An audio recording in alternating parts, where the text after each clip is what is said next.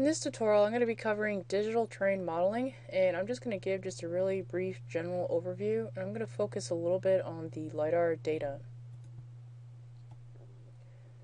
So what is digital terrain modeling? We hear that term a lot. Two engineers at MIT developed the concept of digital models of the terrain in the 1950s.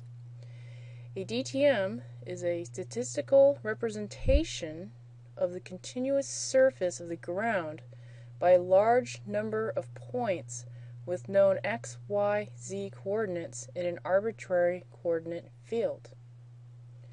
So what that basically means is there's a series of points that define the surface, and we're saying that the surface doesn't suddenly stop, it's continuous.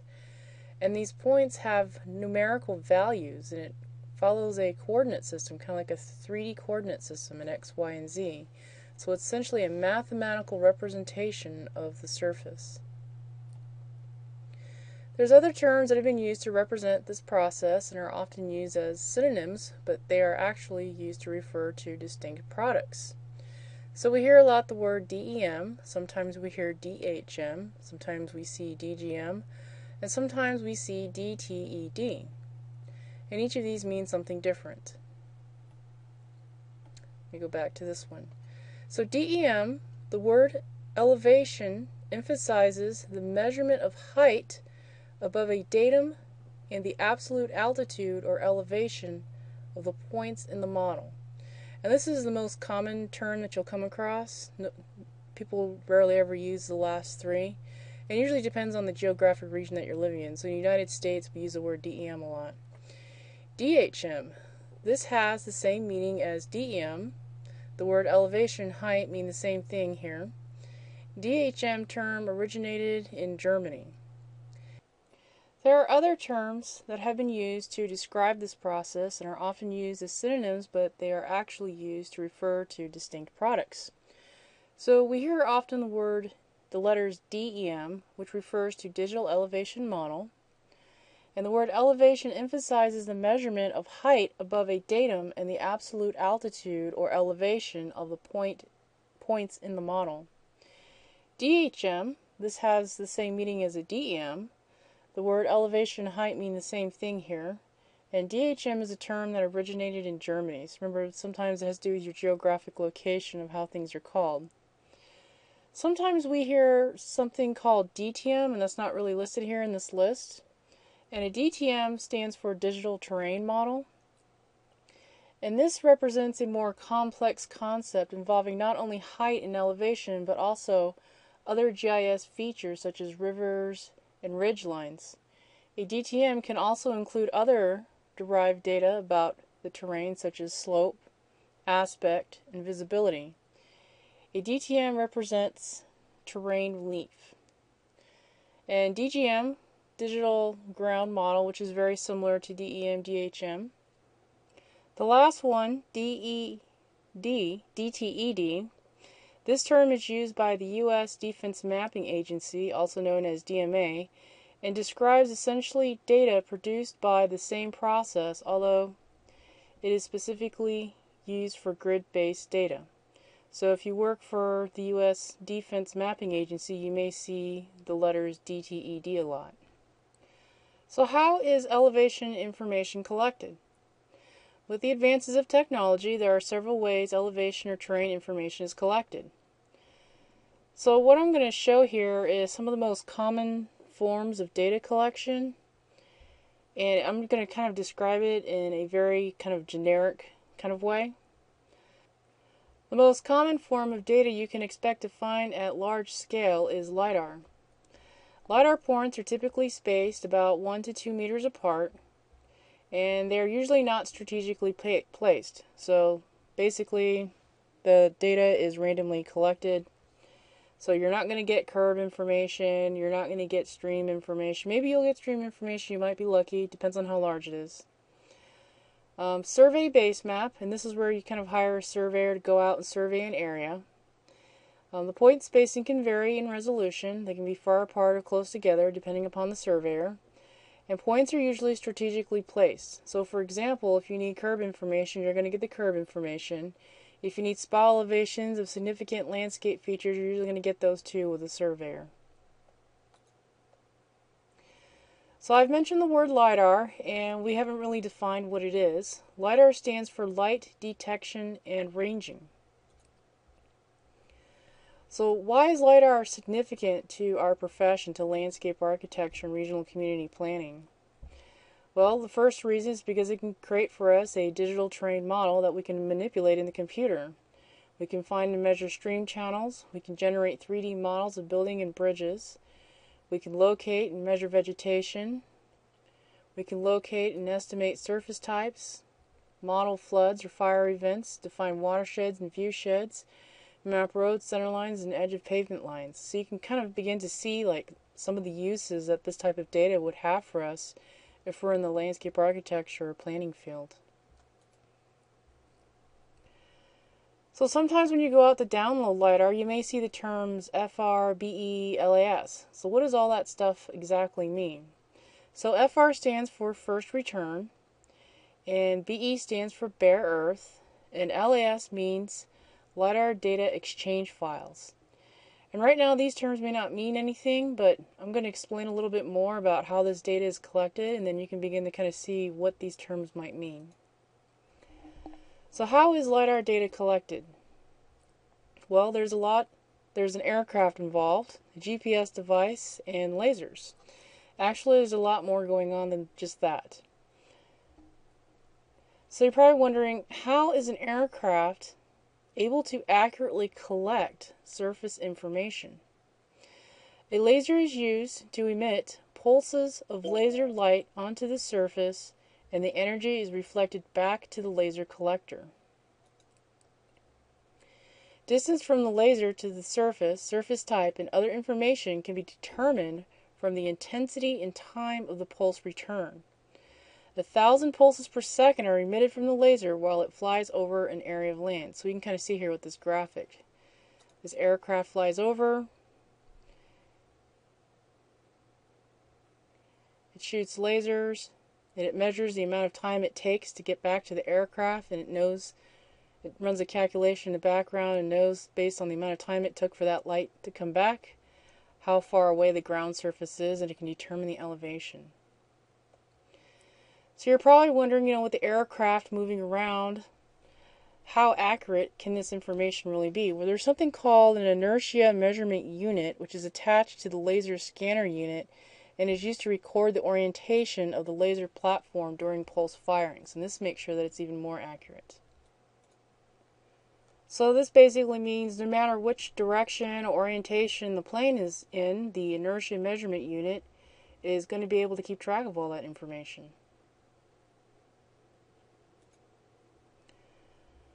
So now you're probably wondering, well, how does it know that it's not scanning the same area over and over? A GPS broadcasts corrections to the airborne GPS unit locating the aircraft within an accuracy of a few inches. The rangefinder scans across the surface at 100,000 to 200,000 pulses per second, collecting millions billions of precise distance measurements, which are converted to 3D coordinates. Data is collected in kind of a grid-like pattern, and we're going to see that later on in another slide, how this data is collected. So we can see here this aircraft flies over, scans an area, and it actually does this in a grid pattern.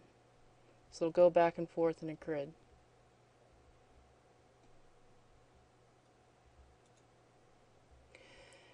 The data collected comes in the form of a point cloud. So basically what a point cloud means is you're going to get a huge, massive collection of points. And each point contains XYZ information, so where it's located in the XY plane and an elevation information, which is a Z. And it also has what's called a return number. We kind of talked about this a little bit earlier. We kind of mentioned it, but we didn't really define what that means. So a first return is the first point that it hits. Second return, which is denoted here in yellow, is the second point that it hits. And the third return is the last point that it hits. And sometimes you hear the word bare earth, and what bare earth essentially means is that all the points were processed and only the bare earth is shown. So any kind of trees or buildings is processed out of the LiDAR points and you only see the bare earth. So since we're talking about processing LiDAR points, how exactly is LiDAR processed? LiDAR points delivered from aerial surveying companies are typically delivered in the LiDAR standard LAS format. This format is a binary file format to minimize the total file size. However, the binary format requires specialized software or programming skills to read, edit, and manipulate.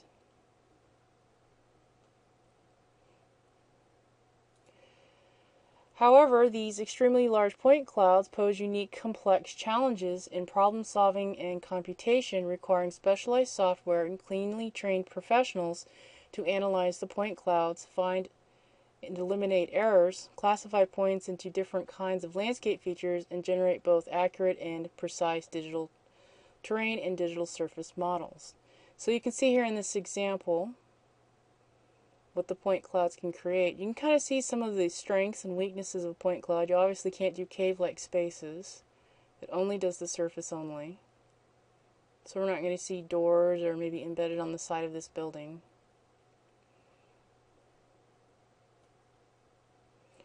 So some of the problems that you might encounter are vertical errors. So on the left side, this is a plan view of a vertical error. We have a point here that has an error. It's too high. And on the right side, we see an elevation view of a lot of errors going on here.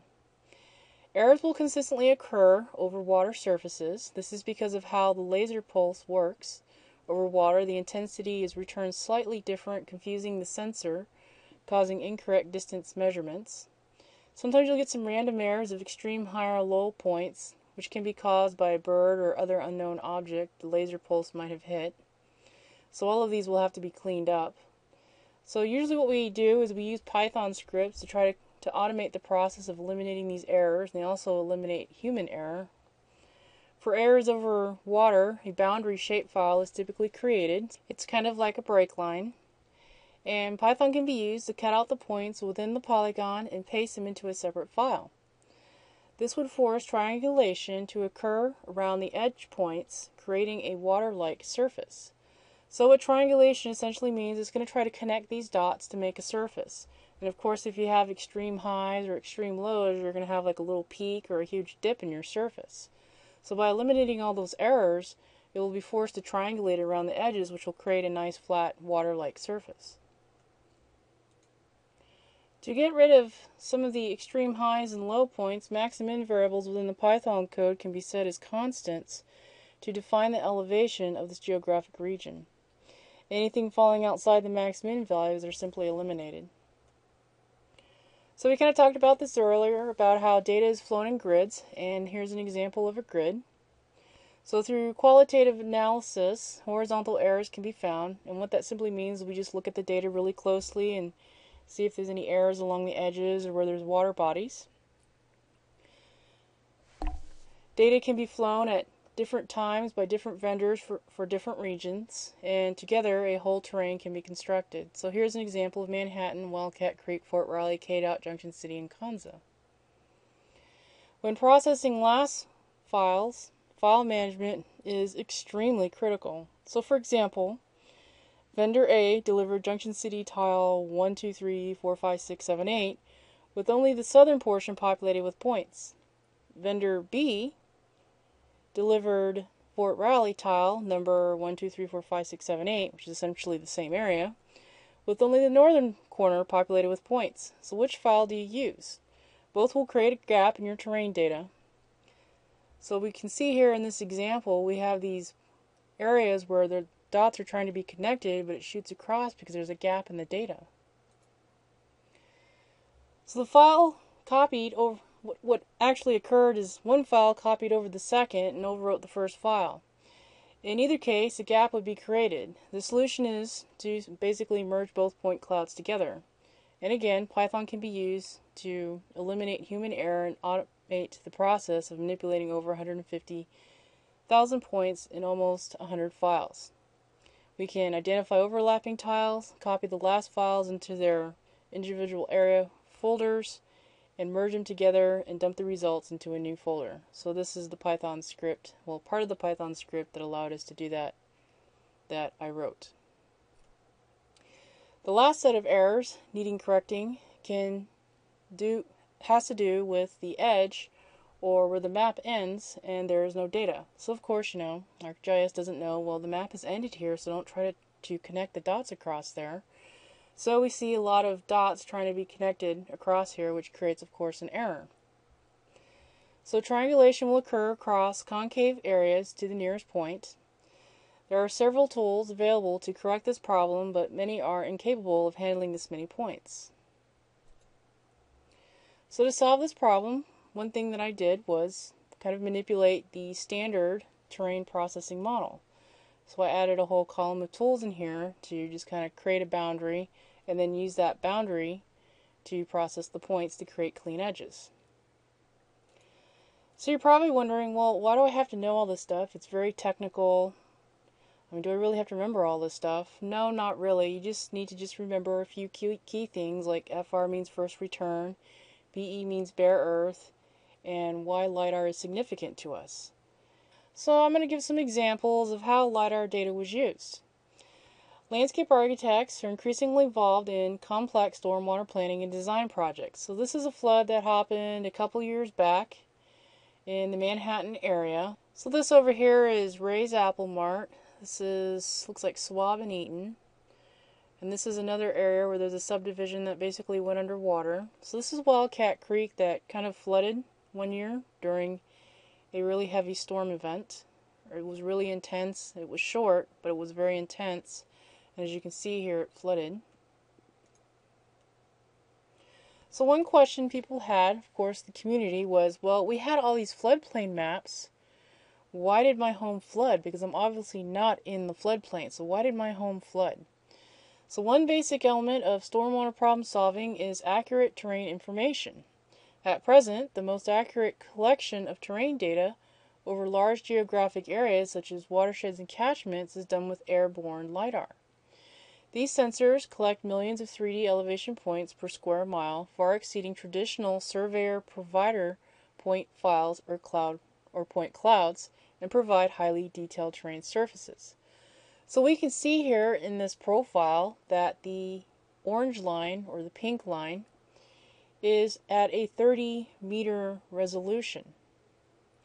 The yellow line is at the 10 meter resolution.